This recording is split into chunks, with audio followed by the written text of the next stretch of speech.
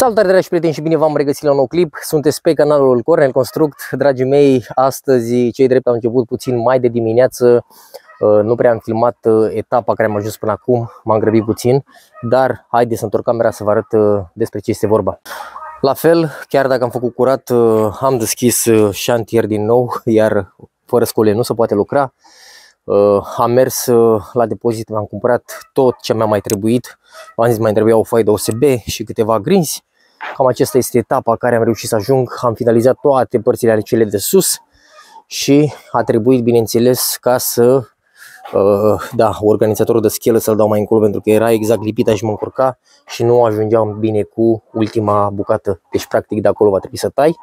Ok, schela am pus acolo, dar după aia va trebui să o așez uh, din nou. Ce am făcut? Nu v-am zis, aici am uh, gândit să pun o sticlă, este un geam din acela gros de un centimetru, este reciclat, nu este cumpărat. El în precedență a fost o ușă culisantă, vedeți aici Uh, semnul, de fapt uh, închizătoarea, mânerul, dacă pot să zic așa. Ce am făcut? Am pus-o, ea practic stă în cealaltă parte în OSB, aici voi pune o șipcă ca să o blochez. Nu, nu se va deschide, dar pur și simplu el uh, am nevoie doar de iluminare în această zonă. La fel acolo deasupra va trebui să compensez cu OSB. Cam acesta este sistemul. Aici la fel încă două foi și am ajuns sus. Ne băgăm la treabă.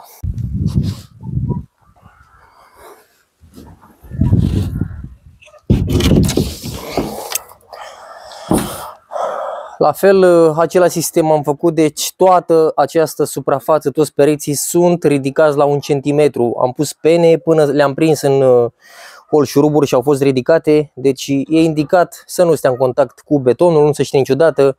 Uh, eu așa am gândit. O să pun câteva hol șuruburi, avem negrese acele speciale pentru, pentru lemn. Și aici la fel, ca să mă ajut, va trebui prima și prima oară să pun două pene.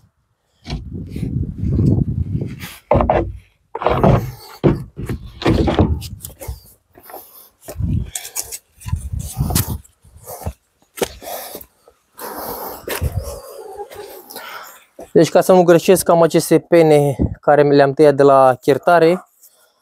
Le băgăm pur și simplu aici și apoi OSB-ul nostru va sta pe ele și nu vom uh, greși cu nimic. Așa.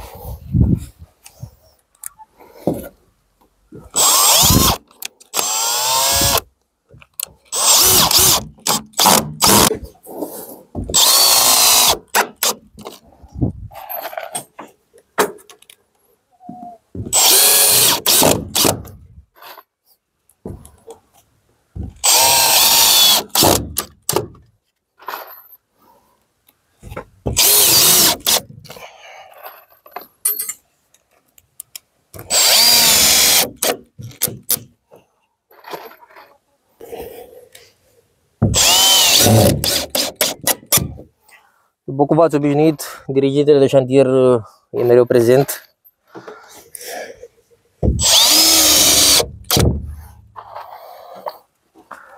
Și acum a venit și arhitectul. Pufi, arătați. El e arhitectul, ha?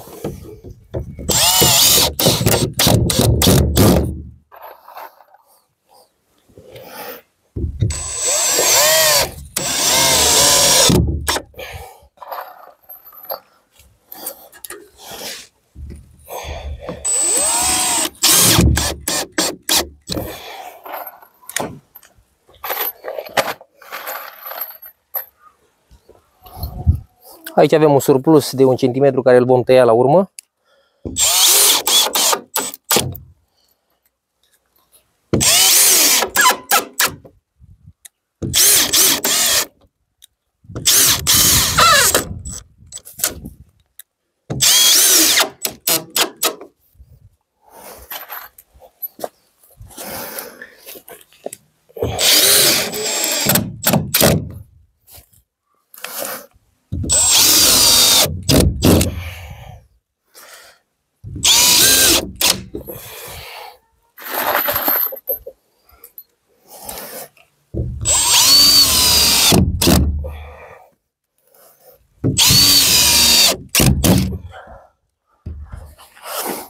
Aici la fel, la fiecare nadă vom pune o grindă uh, prinsă și în uh, cele 8 șuruburi mari, care va trece prin această grindă și va ajunge și la următoarea. Deja încet încet începe să prindă contur. Este în jur de ora 15, dragii mei, haideți să vă arăt un pic uh, cum s-a ajuns. Am băgat Camigo astăzi, sincer, am filmat foarte puțin, dar haideți să vă prezint cu lux de amănunte cum am ajuns ușor, ușor începe să prindă contur. Vedeți că deja ecoul sună un pic ca căsuță, dacă pot să zic așa. Uh, vreau să vă arăt un pic și partea cu fereastra. Este foarte uh, ok, îmi place foarte mult. Vedeți, deci încolo nu are un să ducă pentru că bușește în OSB. Aici i-am făcut un blocaj de OSB de 1 cm. Deci practic fără nicio problemă Apoi este un geam foarte gros, v-am zis că era de la ușă culisantă. Ok? Da, ăsta este procedeul.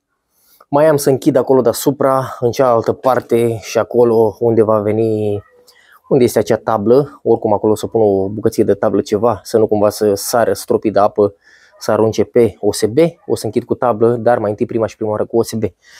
Sincer, nu știu, uitându-mă la ceas, nu știu dacă reușesc să Uh, pun și acoperișul astăzi pentru că va trebui să pun și șipcile.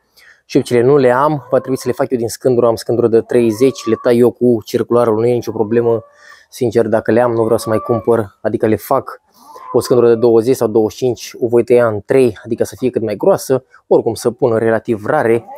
O să vă arăt și în această parte, să vedeți cum se vede. Deci, Aici vedeți, a fost foarte migălos pentru că OSB-ul l-am dus până sus și am decupat fiecare grindă în parte ca să nu cumva să am uh, aer, curent și așa mai departe. Adică vreau să fie cât de cât ok. Plus de încă o chestie, astea vor trebui tăiate, nu știu cât am acolo să fie la fel. Adică voi lăsa puțină streașină și aici, un 30 cm aproximativ, nu foarte mare, dar per total sunt mulțumit.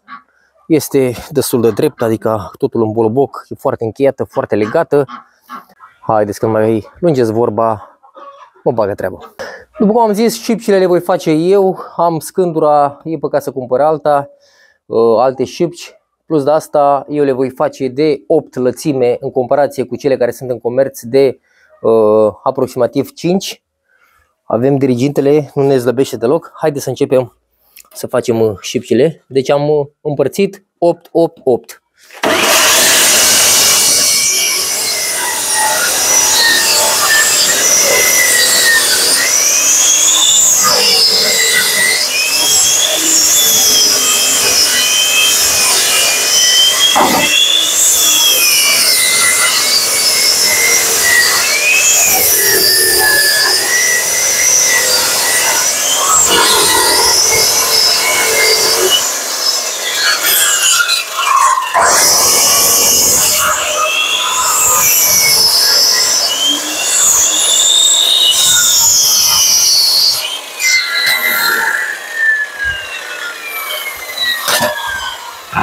Deci prima este gata. Prima șipcă. Ne vor trebui câteva, dar nici foarte multe. Mergem cu următoarea.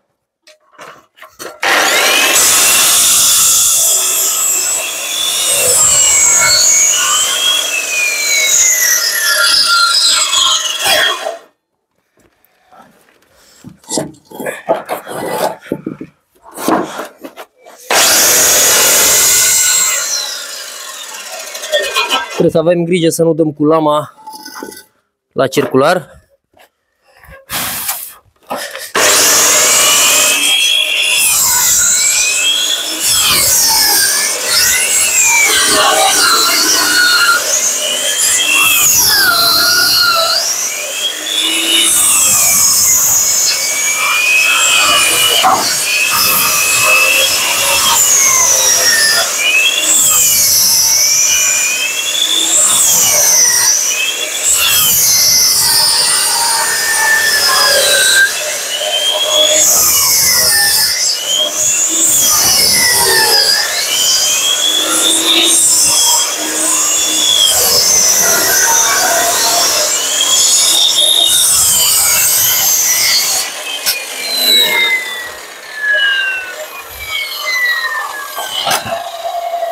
Ok, acesta este procedeul. Avem deja 3 șipci. Mai facem câteva și după aia o să începem să le poziționăm uh, sus. Am ajuns aproximativ la ora 18, am făcut și curățenie. Dragii mei, hai să vă arăt un pic uh, cum s-a ajuns. N-am reușit să pun acolo capacele din OSB, dar în schimb am pus toată șipca. Uh, practic, acoperișul este gata, încheiat cum trebuie, doar să pun uh, tabla. Asta cu siguranță o voi face mâine. După cum vedeți, părțile de la streașină am optat să pun scândură de 25 de centimetri Uh, direct uh, să trecem înăuntru, adică să nu se mai vadă găuri, în schimb în mijloc nu mă interesează. În această parte la fel, vedeți, streașina este închisă, o să mergem și pe cealaltă parte să vedeți cum este. Adică așa, este destul de închis, cum vă spuneam, și o să mergem și sus uh, să vedeți cum se văd șipcile de la înălțime, dacă vă spun așa.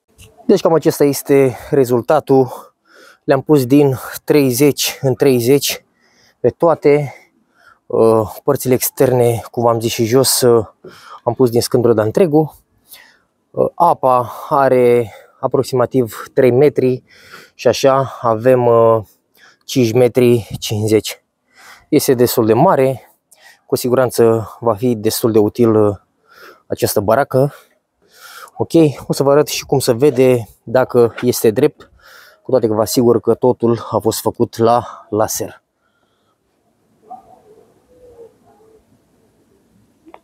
Ok, deci este în parametri, zic eu. În acea parte, vedeți, am ajuns cu OSB-ul exact până sub tablă. Acolo va veni uh, tabla, în schimb aici. Uh, mulți ați comentat în clipul precedent, dar Așa voi face, adică voi veni cu placa de OSB până acolo la șgheab și apoi cu siguranță voi îmbrăca cu tablă. Adică nu vreau ca stropii care vine pe această tablă să sară pe OSB. Uh, și nici deschis nu vreau să las pentru că vreau să fie cât de cât închis, chiar dacă ușa este destul de mare. După cum am zis, este destul de târziu, nu am reușit să termin astăzi totul cu toate ca și vrut, nu face nimic și mâine este o zi. Rămâneți aproape de canalul Corley Construct. O seară frumoasă vă doresc și să ne vedem cu bine la următorul clip. Vă salut!